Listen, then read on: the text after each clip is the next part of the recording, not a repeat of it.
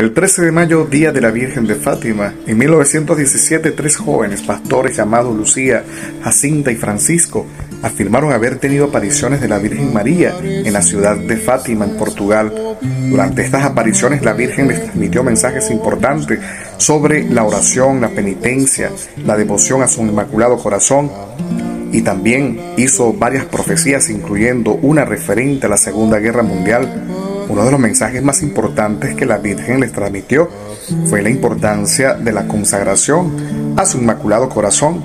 y la necesidad de ofrecer sacrificios y penitencia por la conversión de todos los pecadores. A pesar de que los tres pastores sufrieron burlas, persecuciones por parte de las autoridades, continuaron difundiendo el mensaje y en 1930 la Iglesia Católica reconoció oficialmente las apariciones de la Virgen de Fátima y declaró que eran dignas de fe. Desde entonces la devoción a la Virgen de Fátima se ha extendido por todo el mundo